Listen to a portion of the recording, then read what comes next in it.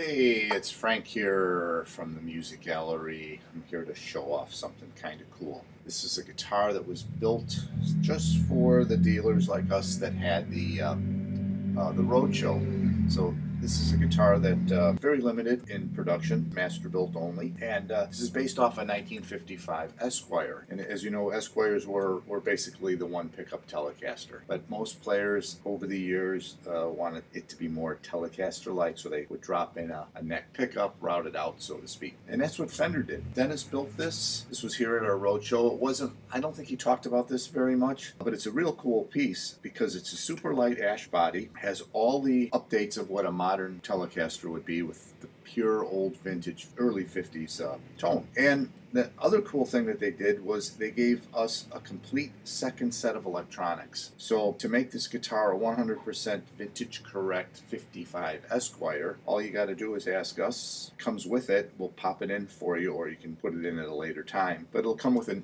a completely different electronic plate, which is all wired vintage correct. Comes with another pickguard. So you put that on, you put the new electronics in, and you've got a period correct 1955 Esquire. So it's really getting two guitars for one. Not a bad deal, huh? Cool. This is uh, just over seven pounds. I think seven pounds, one ounce. Quarter saw neck. Super nice neck carve. Super fast.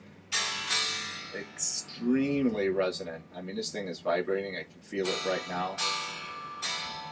Very cool. Want to know more about it? Give me a call, shoot me an email, look for a little video coming, and uh, one cool guitar. I think we've got two or three of these here right now, and I think we got one or two more on the way, so should be a big hit. And of course, we have them priced real righteous too, so don't hesitate to uh, to ask about that if you're interested. Okay, thanks a lot.